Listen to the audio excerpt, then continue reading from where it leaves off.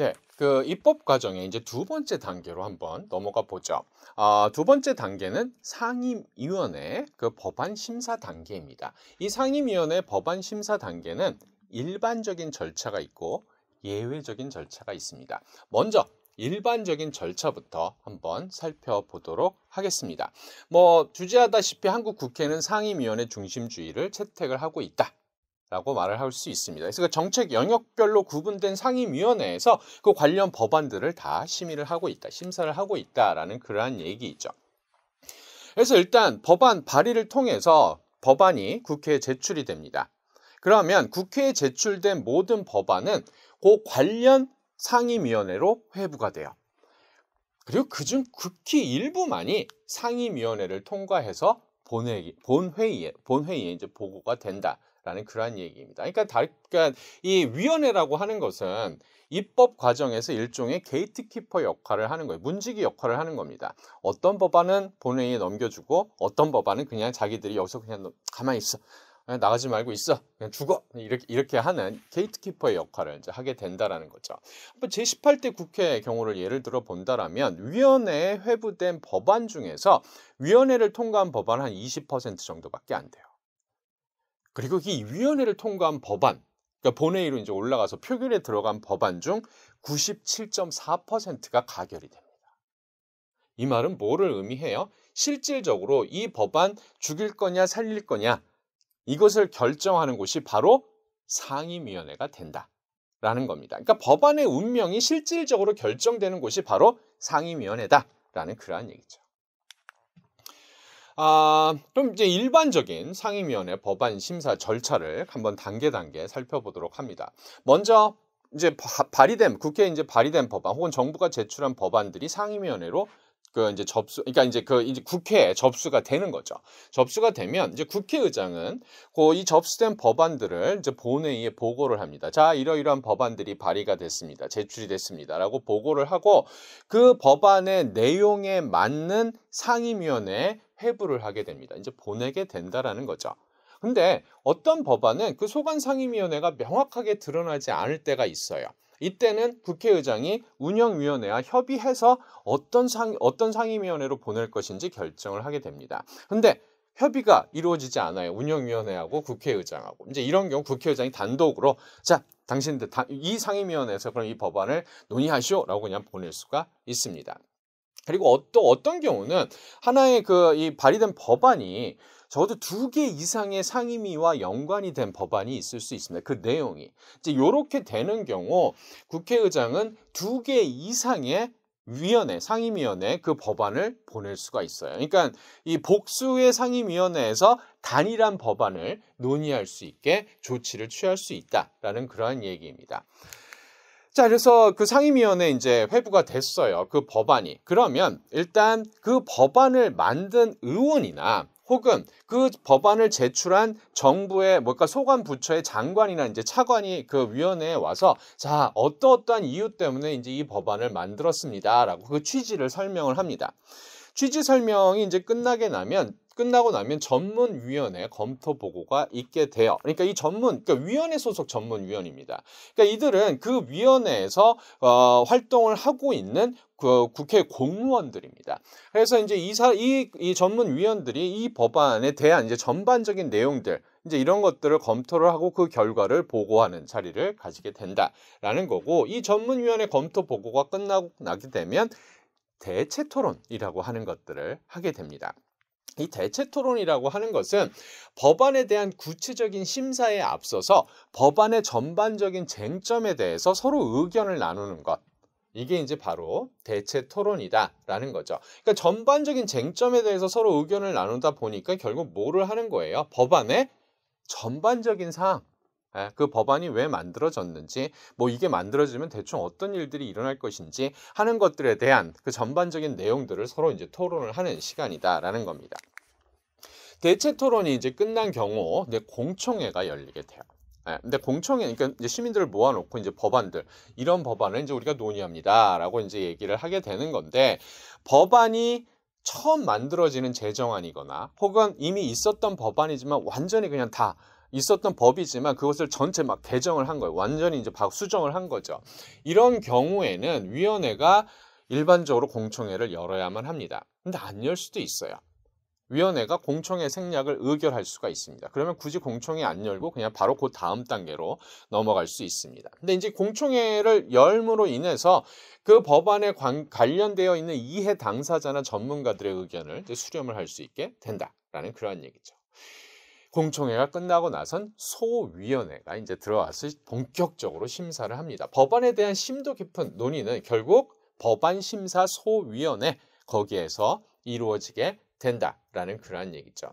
그리고 이제 심사를 하고 심사 결과 보고서를 그 위에 있는 그 자신의 상임위원회 전체 상임위원회로 이제 올리게 된다라는 얘기입니다. 근데 그이전이 이 법안에 대한 이제 보고서 보고를 이제 그 전체 상임위원회 하고 난 다음엔 축조 심사라고 하는 것들을 하게 돼요. 아 축조 심사라고 하는 것은 그 법안을 한 조문 한 조문씩 읽어가면서 구체적으로 심사를 하는 겁니다. 혹시 무슨 문제가 이 법안 한 조문 조문 하나 문제가 있을지도 모르니까 계속 이제 다 일, 처음부터 끝까지 읽어가면서 이제 심사를 하는 건데 아, 일반적으로 위원회 전체에서 하는 축조 심사는 생략이 됩니다. 그러니까 기본적으로 이제 보고서를 작성해서 전체 상임위로 상임위로 올리기 전에 이 소위원회 법안심사 소위원회에서 이제 반드시 축조 심사를 해야 된다라는 그러한 얘기죠.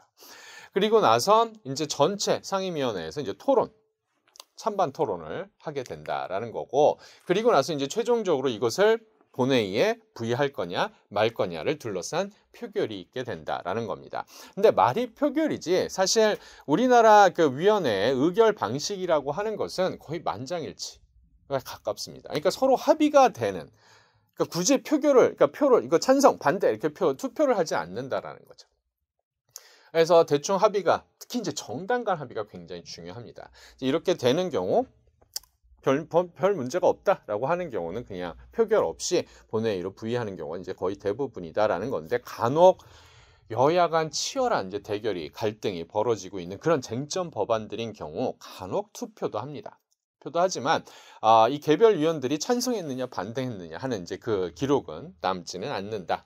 무기명으로 이제 투표를 한다라는 그러한 얘기죠.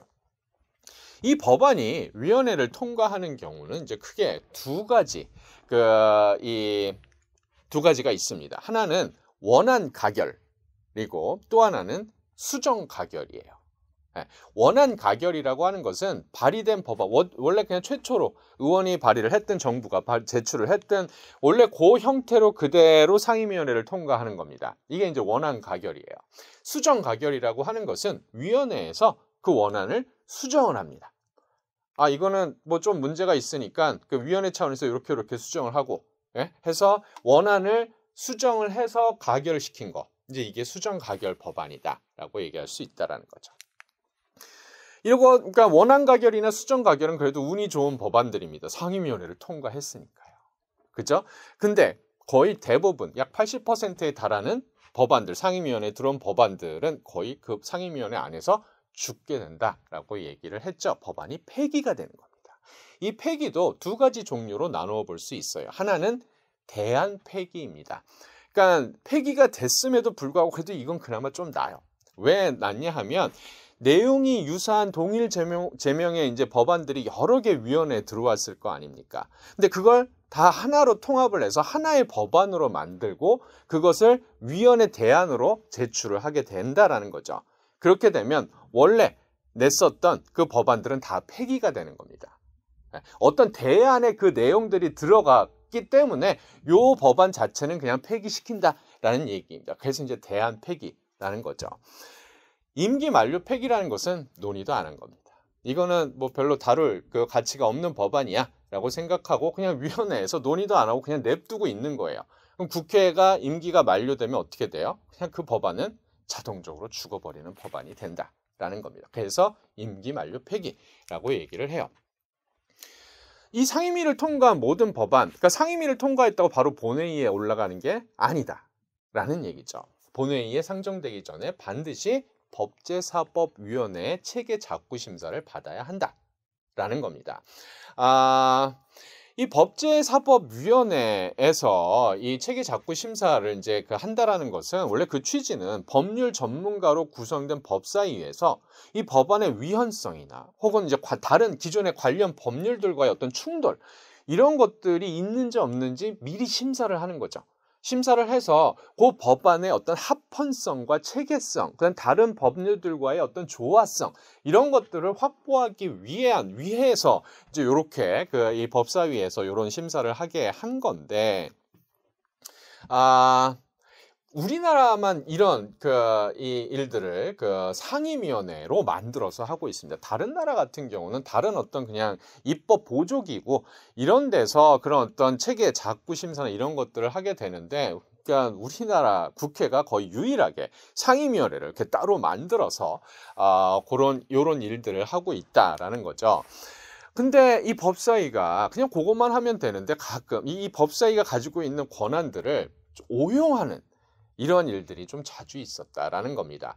법사위가 단순히 체계 작구 뭐 이런 형식적인 측면만 검토하는 것이 아니라 다른 상임위가 만든 법안의 내용까지 건드는 건드는 일들이 있었다는 거죠. 내용을 변경하는 일들이 있다라는 겁니다. 그럼 그 원래 그 법안을 통과시킨 상임위원회에서 가만히 있겠어요?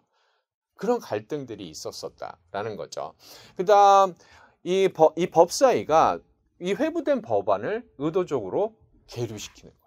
입법 지연의 수단으로 이 체계 작구 심사를 악용하고 있는 경우가 굉장히 많다라는 그러한 얘기입니다. 그래서 특정 특 그러니까 어떤 정치적으로 굉장히 논쟁적인 법안, 여야의 그 이 찬반이 굉장히 심하게 갈려서 막 싸우고 있는 법안 이런 경우 특히 이제 야당이 그 법사위 위원장직을 차지하고 있는 경우 그 법안을 통과시키지 않고 그냥 붙잡고 있는 거예요. 네. 그래서 그런 이제 문제점들이 있었고 그렇기 때문에 법사위는 위원회 위 위의 위원회 그러니까 옥상옥이라고 하는 아, 그런 비판도 굉장히 자주 받게 됐다라는 그러한 얘기.